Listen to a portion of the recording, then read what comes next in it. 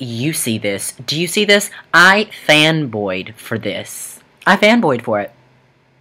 Like, I literally cried uh, for this. For this. Piece of paper. Not even, like... This doesn't even take up any of my air in this, like, in this world. But I fanboyed for it. Just saying. Um, and I'll tell you why I fanboyed for that later on in the video. But first I'm going to start off with what this video is about and how the whole situation went. Okay, so I am in a club called HOSA, which is Health Occupation Students of America. And I'm in ninth grade, and this is probably the best club I have ever been in. Ever. It truly makes me feel like I'm a part of a family. Everyone is so sweet, and I have never cried so many times, like like periods of time in one day than I have today, just today. And I realized that I don't know what I would do, where I would be without the HOSA, Bremen HOSA program. Okay, so this was a three day trip to Athens, Georgia for the State Leadership Conference, and I did not know what to expect. But okay, let me just start from the beginning. So it's it's a long bus ride up there, which seems like it didn't take that long to me. But we get there and we do all the stuff. People, it's so unorganized. Or well, from my point of view, it was so unorganized from the outside. But when she got inside the building, it was a it was a lot more organized. And well, from the outside, it looked like that. Like that made no sense. I'm just gonna shut up about that. Okay. Anyways, and I compete in what I was going to compete in. I didn't make it to second round. Too bad, right? I mean, I have three more years to do this. And it's just, we do all this amazing stuff while we're up there. We go to restaurants. In our free time, we sit in the hallway, which is boring. I, like, fell asleep in the middle of the hallway. I took a nap. So, anyways, let me get to the best part of the video. Okay, so after the first day, there is a meeting thing and you have there's like six sets six sets of doors maybe six maybe five i don't know sets of doors all the way down this long corridor that opens up to a big huge like gym ballroom thing and it has like hundreds hundreds hundreds maybe thousands of chairs right? And when the doors open you have to run to the front to get the front, like a front row or the closest row of seats you can get. This is my first year, so I have never done this in my life. I didn't know what to expect, but Bremen HOSA was the first one at the first door. So we kind of crowded around the door so that nobody else could like come up to the door and get in before us. Okay, so we get there around 7 o'clock, but the doors don't open until 7.30. And it's like 7.40, or like, yeah, 7.40 something, and we're all standing up, chanting, let us in, blah, blah, blah. I don't know, like, we have like 30 minutes. And we're just standing there. And then finally the doors open, and I have never been in this kind of situation. I'm running through, I'm seeing people trip, fall, all kinds of things, and all of a sudden there's a chair in my way. And I'm just like stumbling and running, and then like, I'm like, okay, I have got to get away from these people. So I take off, and I'm like running, like on my tippy toes as fast as I can.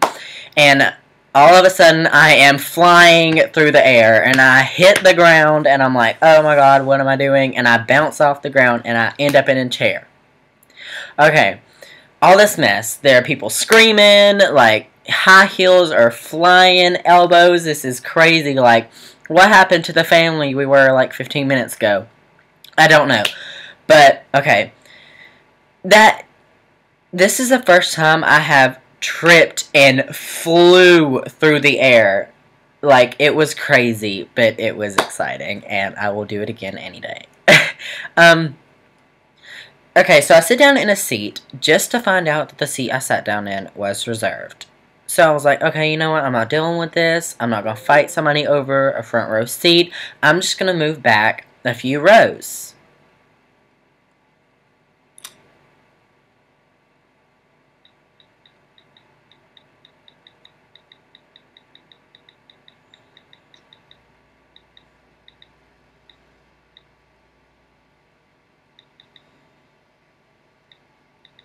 Sorry.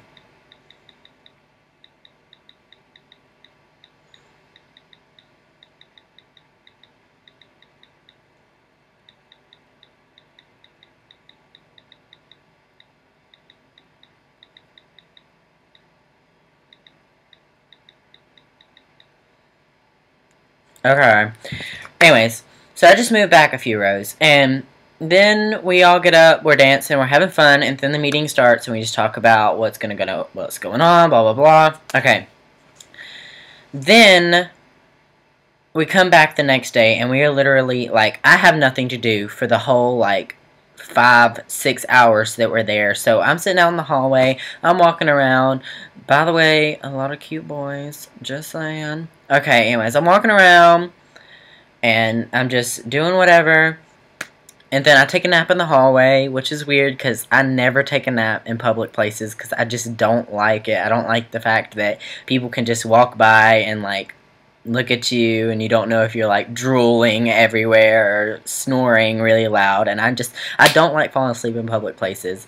But I did this time because I was like freaking tired. Okay. Um, that night was supposed to be the HOSA dance. But for some weird reason, I don't know why, but tornadoes decided to touch down everywhere around us, everywhere. And I'm just like, I want to go to this dance, okay? I want to go to this dance because I just, this is my first HOSA kind of dance thing, and I want to go to it. And we're like an hour late, and we get there, and when we get off the bus, and we're on our way over there, there are people rushing out like, oh my god, we're evacuating. There's tornadoes everywhere. So we run back to the bus to go back to the condos. And I'm just like, this is crazy. I don't like what what's going on here. We're gonna die in this bus. We're gonna get blown away.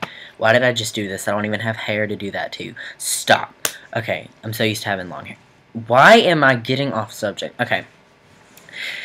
Um, then today, which was the most emotional day of my whole life, I realized how much this HOSA club means to me and where I would be if I was to not have, like, I wouldn't know where I would be without this HOSA club. And I just stumbled over my words. Okay. Um, HOSA didn't win a lot of, or my school didn't win a lot of awards or competitions, which was a big letdown and kind of heartbreaking. But the fact that I know that we worked hard is what means the most to me. And this girl, Allison Payne, is my chapter's president. And I love this girl more than anything, and I would do anything for this girl. When she didn't win and she had a meltdown and was crying, I died. Like, I was dying inside. Like, I just couldn't help it. Like, she had worked so hard to. Sorry, that was in my pocket she worked so hard, and she, and the fact that it was her last year in HOSA, you always want to end your last year with a bang, and personally, I think she did, but in her eyes, she didn't. I can't change her mind. I don't think anybody can, but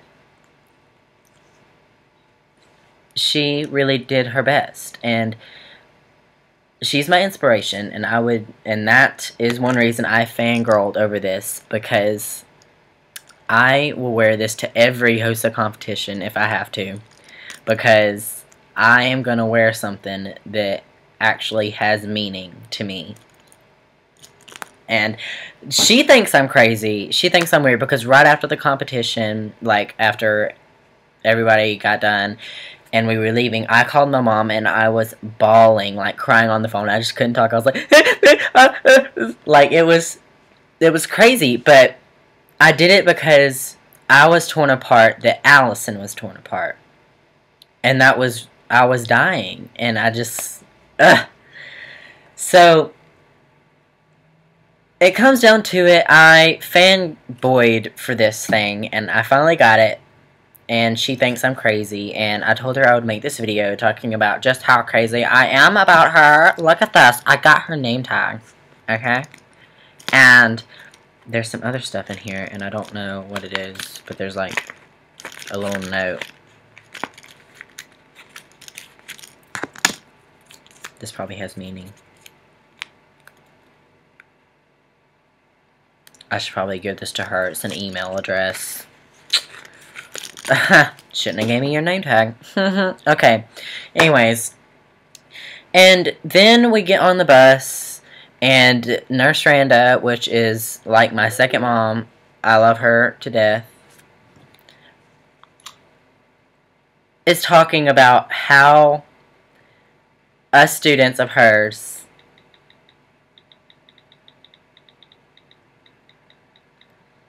are the reason she wakes up every morning to come to school and then she starts crying. And when people cry, I cry. So of course I'm over here crying on the bus, and I'm just like,